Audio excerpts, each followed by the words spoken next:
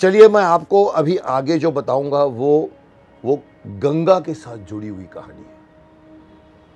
गंगा के साथ जुड़ी हुई कहानी आपने देखा, शांतनु और गंगा पृथ्वी लोक पर थे और उन्होंने शादी की थी। उसके बाद में आपने तो देखा है पूरी महाभारत में, लेकिन मैं आपको लेकर चलता हूँ पीछे स्वर्ग लोक में कि वो भी स्वर्ग लोक के वासी थे। गंगा स्वर्ग लोक के वासी, गंगा गंगा जो है वो ब्रह्मा की पुत्री मानी जाती है। तो मैं आपको एक सीन एक्सप्लेन करूँगा। इंद्र का दरबार। जहाँ पर लोग आते थे सिंहासन पे बैठते थे उनको ये उन उनको ये प्रिविलेज था सब आके बैठते थे। उसमें एक राजा थे। उनका नाम था महाभीष। जिनको ये प्रिविलेज मिला था जिसको हम आजकल कहते हैं वीज़ा कार्ड समझ सकते हैं। उनको ये पर, परमिशन था उनको ये प्रिविलेज था कि वो वहाँ जाकर उनके दरबार में बैठ सकते थे। अब अब अब इमेजिन कीजिए सारे सिंहासनों पर राजा महाराजा बैठे हुए हैं। उसमें एक हमारे ये पात्र राजा बैठे हुए हैं। बातचीत चल रही होगी। उसी वक्त गंगा जी की एंट्री होती है। जैसे कि मैंने कहा गंगा जी तो थी वो वो ब्रह्मा की मानस पुत्री थी उनकी पुत्री थी वो। तो वो आती है वहाँ पर और वो जैसे ही आती है हम्म, तो डेफिनेटली उसकी सुगंध तो वातावरण में फैली जाती है। गंगा जी हैं स्वच्छ पवित्र। जैसे ही एंटर करती है अब लिखिए विधि का विधान देखिए।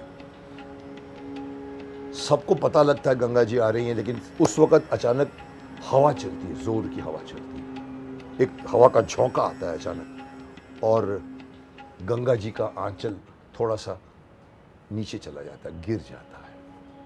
अब अब शिष्टता के विचार से, अब सारे के सारे सभ्य लोग वहाँ पर बैठते हैं, वो लोग अपना सिर, मुँह नीचे झुका ले लेकिन उसमें वो जो राजा जिसकी मैं बात कर रहा हूँ, वो गंगा जी के रूप को देख के मोहित हो गया था। वो देखता रहता है, अपनी आँखों खुली रखकर। गंगा भी हिल जाती है, सब चीज़ कैसे हो गई, ठीक करती है अपने आंचल, पर वो ऐसे उसको देख रहा है, ब्रह्मा जी को ये बात दिख जाती है, और ब्रह्मा जी क्रोधित हो जाते हैं। बोलते, तुम असभ्य हो तुम।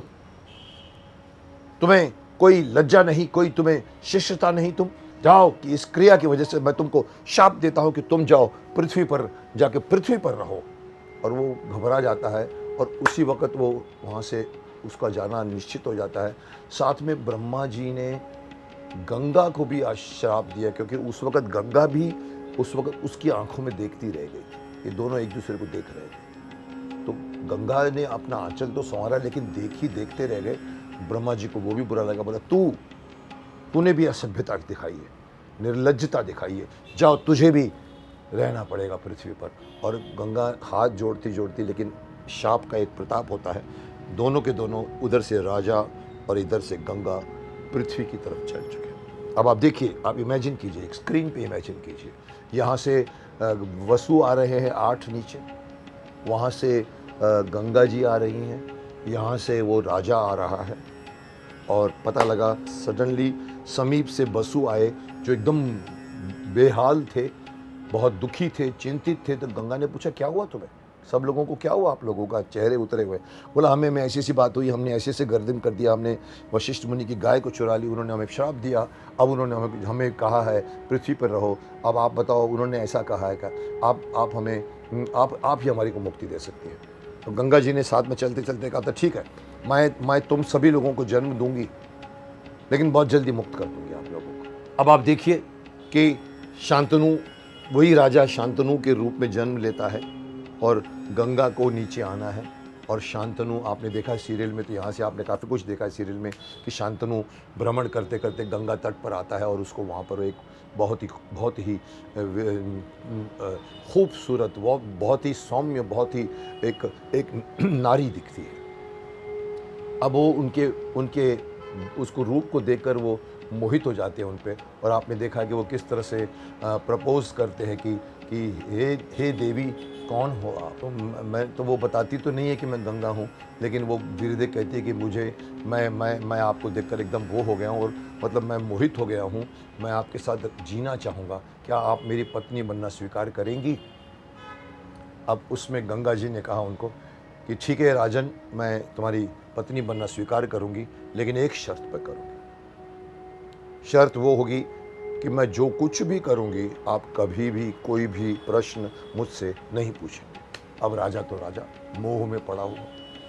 तैयार हो गया बोला हाँ हाँ कर देंगे, तुम जो चाहोगे। जैसे आजकल के भी आप लोगों को पता है, जब प्रेमी प्रेमिका से कहता है कि, मैं तो तारे छोड़ के ला के दूँगा आसमान पे तुमको। उस वक्त तो वो एक एक ज़िंदगी होती है जोश की। अब शांतनु मान गए, फिर आपको पता है कि गंगा के वहाँ पहला पुत्र पैदा हुआ। और पहली संतान को गंगा ने उठाया अपने गोद में और धीरे धीरे गंगा नदी के किनारे पर आई।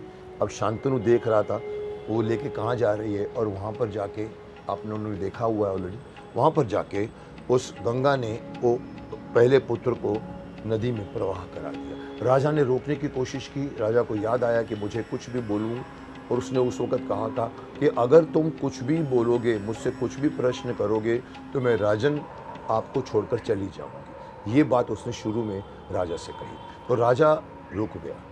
तो इस तरह से पहला पुत्र, दूसरा पुत्र, तीसरा पुत्र, चौथा पुत्र, पांचवा पुत्र, छठा पुत्र, राजा के सब्र का बाण टूटता था टूटता था, लेकिन रोक लेते थे कि नहीं नहीं, मैं कुछ बोलूँगा तो गड़बड़ हो जाएगी। फिर पता लगा छः तक तो सात तक उसके सब्र का बाण टूट गया। आठवें पुत्र को जब वो पैदा करके जब गई नदी के किनारे तो शांतनु पीछे पीछे गए और उसने कहा था ठहरो, कौन हो तुम? किस तरह की नारी हो तुम? अपने पुत्र को मारने में तुम्हें तुम्हें जरा भी संकोच नहीं होता? कौन हो तुम? अब गंगा उठती है और देखती है, उनको कहती है, राजन, मैंने आपको पहले ही कहा था कि मैं जो कुछ भी करूँ आप मुझे प्रश्न नहीं पूछोगे। और जिस दिन ये प्रश्न पूछोगे उस दिन मैं चली जाऊँगी। तो मैं जा रही हूँ लेकिन हाँ मैं इस पुत्र को साथ में लेकर जा रही हूँ क्योंकि इस पुत्र को अभी जीना है। और राजा उसको रोकने की कोशिश करता है बोलता है मैं वचनबद्ध हूँ और गंगा जी जो है उस पुत्र को लेकर चली जाती है। यहाँ पर हम्म, जो पुत्र पैदा हुआ था वो देवव्रत था जिसका नाम बाद में देवव्रत रखा गया था। वो भीष्म पितामह थे। और जो बिगिनिंग के आपने समझा होगा मेरी कहानी का सात पुत्र ये वही वसु थे जिनको गंगा ने कहा था कि मैं तुमको मुक्ति देती जाऊँगी।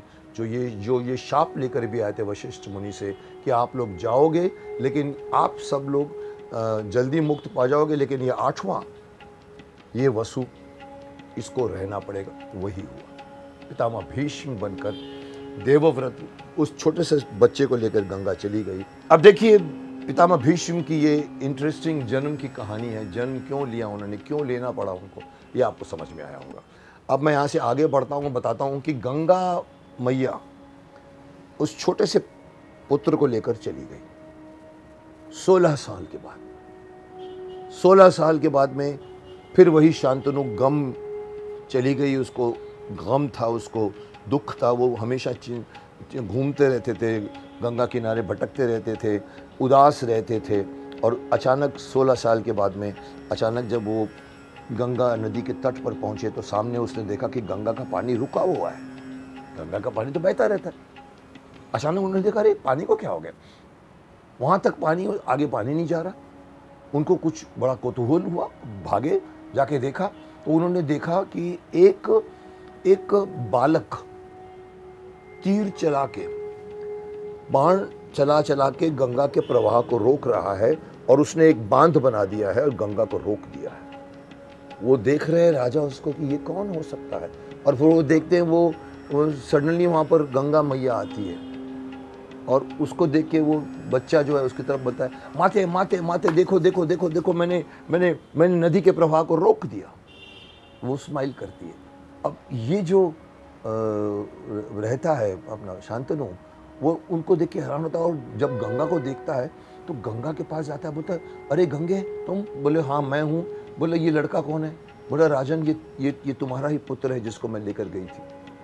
इसको मैंने सारे के सारे धर्म सिखाए हैं स्वर्ग में रहने वाले गुरुओं से शिक्षा दिलवाई है।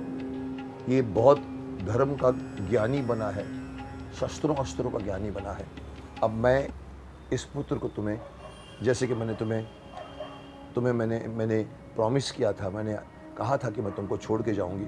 मैं अब इस पुत्र को तुम्हें हवाले कर, तुम्हारे हवाले करने आया हूँ। और शांतनु शांतनु तो खुश। गंगा ने कहा कि ये तुम्हारे पिता हैं। और देवव्रत को भी नहीं मालूम कि मेरे पिता हैं। और देवव्रत और दोनों फिर गले मिलते हैं और देखते हैं तो गंगा वहाँ से चली जाती है। अब राजा शांतनु खुशी से फूल लेने समाते अपने उस उस उस उस योद्धा पुत्र को लेकर शहर में आते हैं, राज्य में आते हैं। चारों तरफ़ अनाउंसमेंट होता है कि भाई शाह कि राजा का पुत्र वापस आ गया है और पूरे समारोह में उनका स्वागत होता है और वो पुत्र वहाँ पर धीरे धीरे रहने लगता है और उस पुत्र की थोड़ी थोड़ी कहानियाँ भी एक देखते हैं और प्रजा को मालूम पड़ता है कि ये तो बहुत ही वीर है। उसकी वीरता में एक कहानी थी, जो मैं आपको सुनाना चाहूँगा। कि देवव्रत जब जवान था तो मालूम पड़ता है कि कुछ गाय चुरा कर जो राजा था काशी दरबार में जिसको वो भीष्म पितामह में मिलते हैं, वो राजा उन गायों को लेकर चला जाता है यहाँ खबरें आती हैं उनको कि भी वो लेकर चला गया है। अब राजा शांतनु कुछ करने जाए बोलता पिताश्री मुझे करने दो उसको। और वो जाता है रथ में अकेला और उस राजा को रोकता है। उसके साथ युद्ध होती है बोलता तो बालक है मतलब युद्ध करो।